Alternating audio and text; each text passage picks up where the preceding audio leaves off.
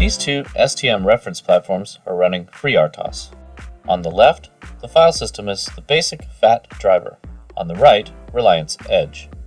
Between these two systems, only one is power fail-safe, and that's a problem for the embedded industry, where power can be lost at pretty much any time.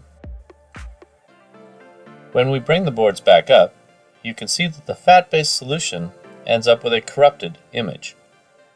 This is because FAT overwrites the data file.